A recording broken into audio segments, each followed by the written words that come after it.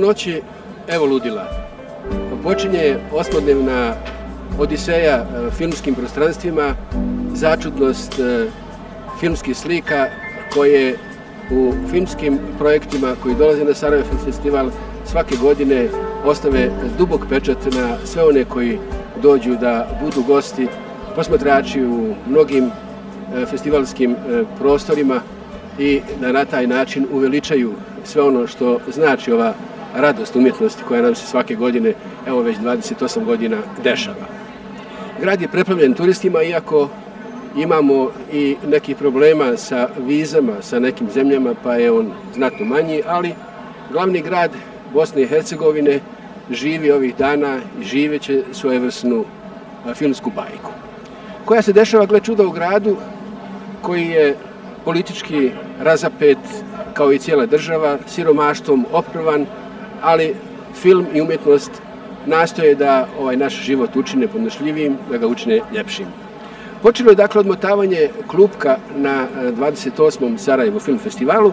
Ovogodišnji pobjednik 75. filmskog festivala u Kanu, film Trouga u tuge Rubena Ostlunda, otvorit će festival na nekoliko festivalskih lokacija, četiri tačnije u gradu, dakle na otvorenim kinima, Stari grad, Novo Sarajevo, Novi grad, ovdje, dakle u Metalcu također. A evo, gledamo već i neke trenutke e, u Kanu sa, e, kako ga ja zovem, mosta e, laureata. Sada smo uživo, doduše, na festivalskom centru, a u Kanu smo, dakle, također zabilježili neke važne trenutke. Evo, upravo braća Dardan prolaze mostom laureata. Vidjet ćemo i Rubena sa najsjajnijim odličjem koje je priuštio radovanje i zemljama koje su bile koproducenti u ovom filmu, među njima je i naša zemlja. Evo trenutka kada e, Ruben stiže, to je trenutak koji i smo već e, vidjeli na nekoj televiziji nakon povratka naše ekipe iz Kana. Ja ću reći da je moj gost Zlatko Burić, glumac u ovom filmu. Evo Rubena sa najsjanijim odličnom kana, da.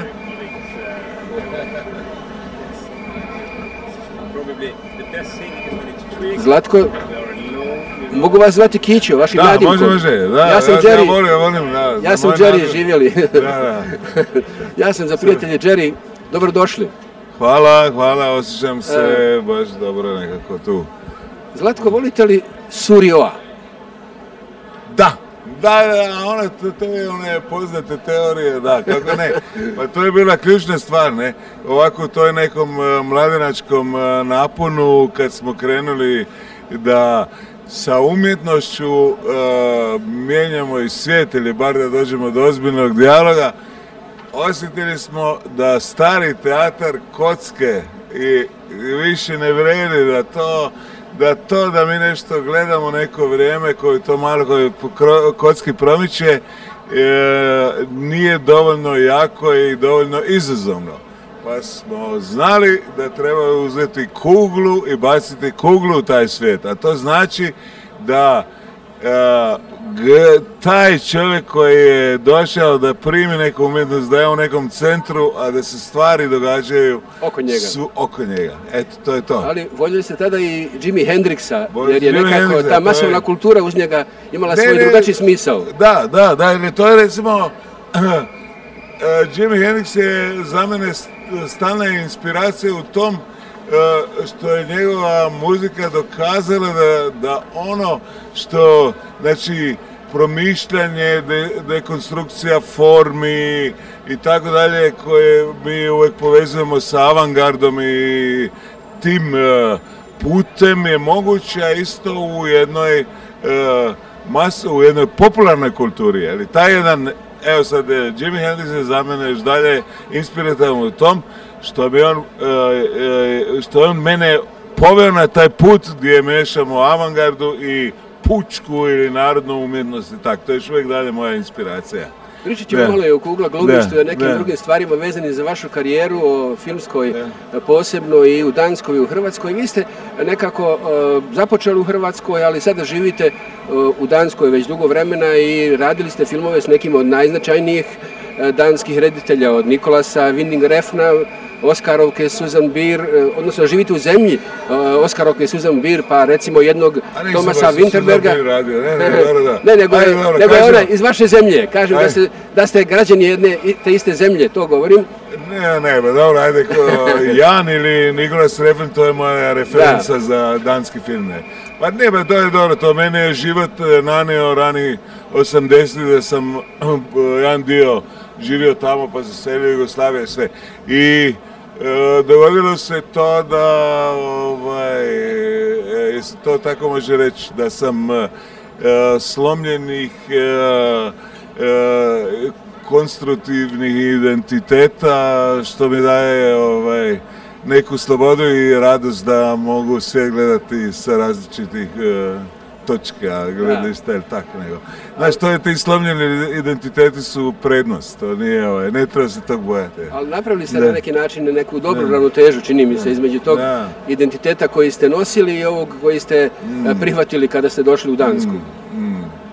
Pa valjda, da, da, dobro, ajde, da, vjerujem. vjerujem, Za sebe, da. za sebe ste voljeli reći kako ste e, kulturni aktivist, kulturni radikal. To je bilo u vrijeme dakle studentskog e, vremena i pozorišta koje je tada tim Mm. radikalnim idejama stasavalo u jednom e, vremenu koje je bilo obilježeno ideologijom, Mm. a onda e, ste e, krenuli u kugla glumište. Međutim, e, činjenica je da je to sve nekako počelo e, po onoj liniji europskih gibanja 68. ste nekako startali, a 89. vas je nestalo sa scene.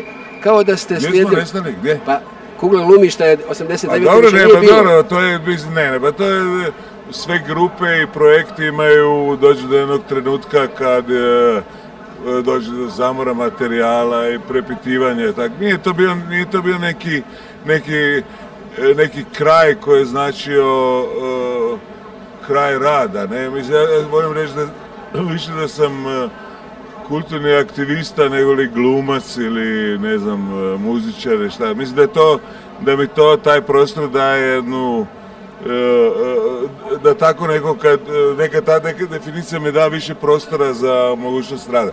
I ovaj, ovaj susret sa Rubenom i ovaj film je, to nekako vidim da je e, da je to neki nastavak tog e, razgovora e, koji sam imao unutar tog. Da, da, da.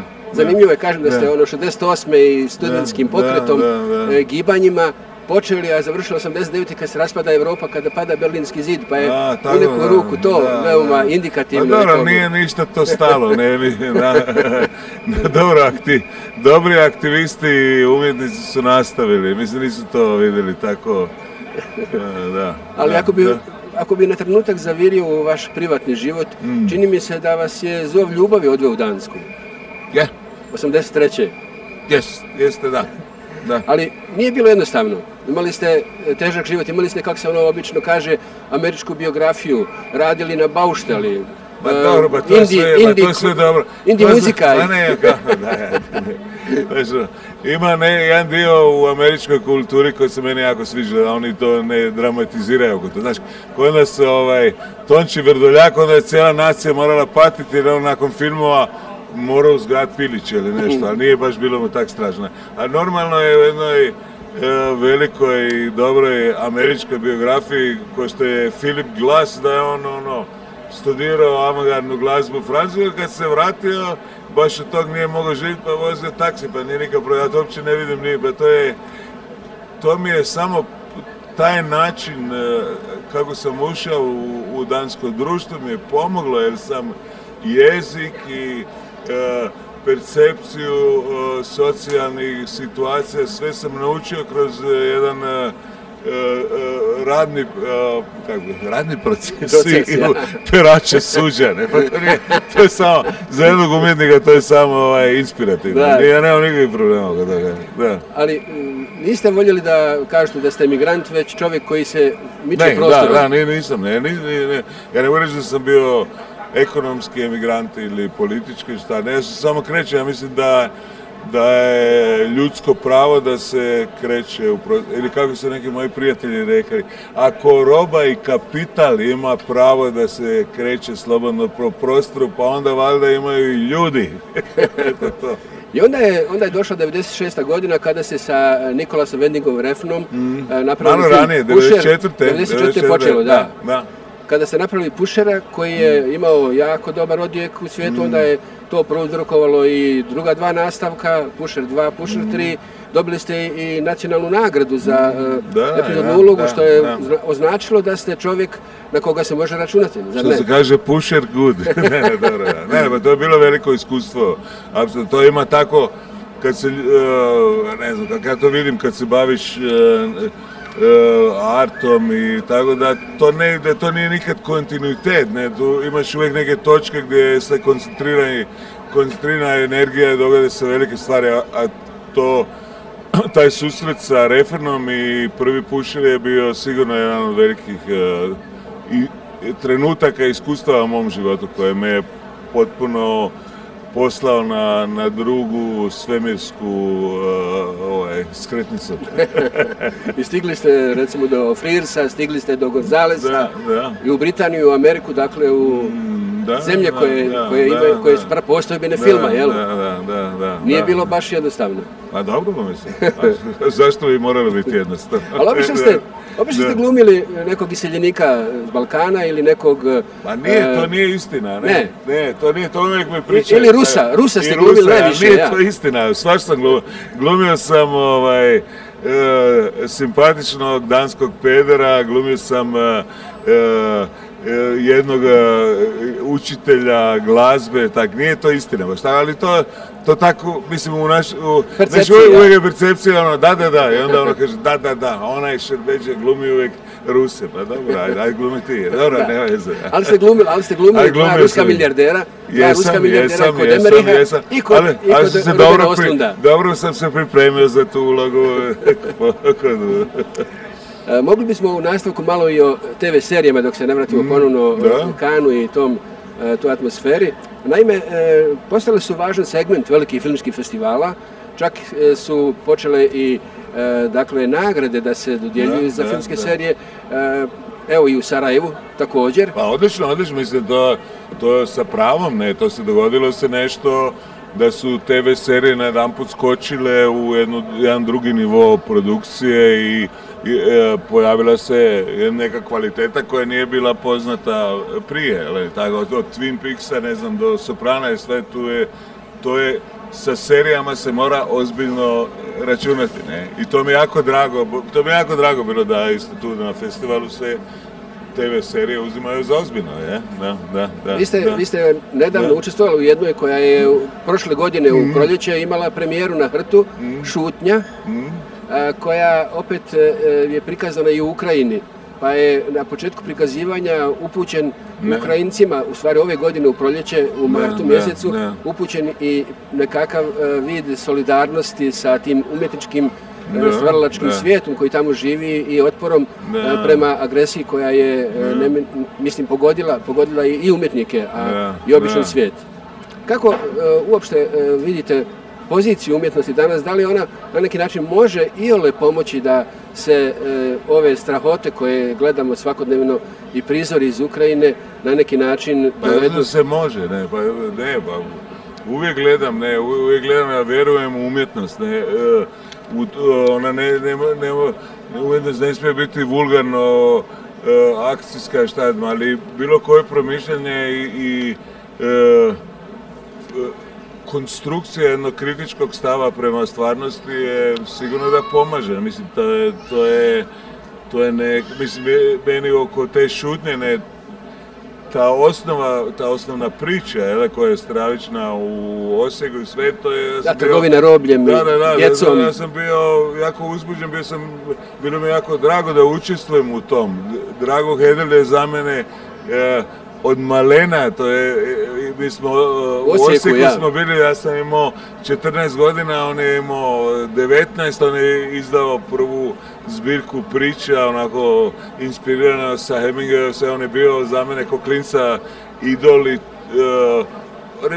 ja sam njega vidio kao književnika, ali onda kad je došao kad je došla, je došla ta sva strahota rata oko Osijeka je sve Hedril je jedna svjetla, svjetla ličnost, njegov angažman, njegov kritički i humanistički kredo, da.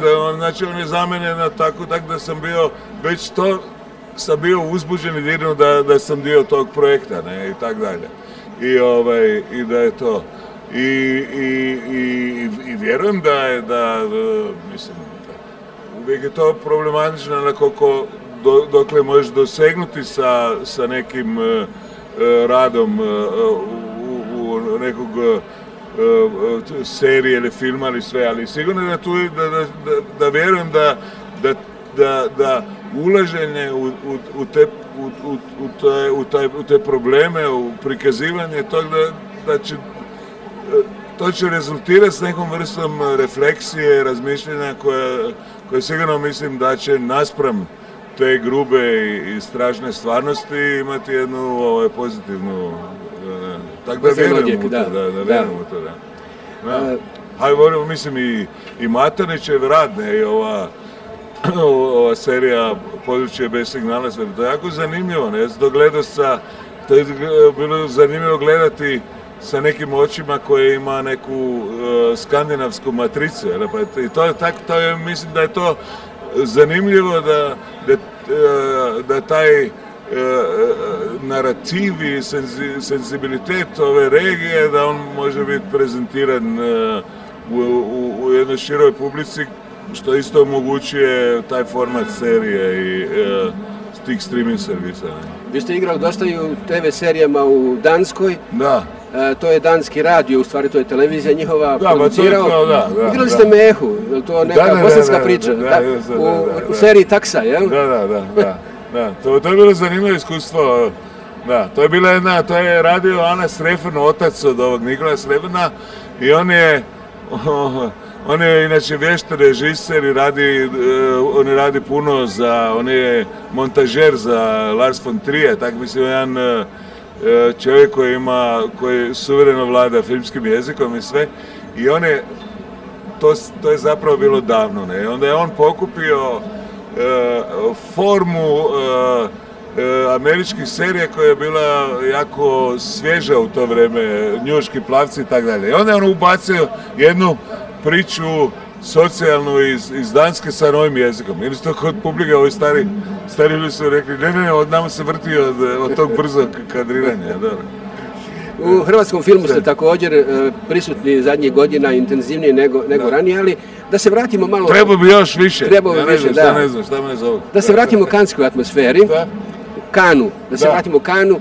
Bio sam svjedočio, nekako ste mi na preskonferenciji i na crvenom tepihu stalo bili veseo čovjek. Da. Godila vam je, na koji način ste to sve skupa doživjeli? Evo gledamo i prizore, uskoro ćemo vidjeti i prizore da. koje...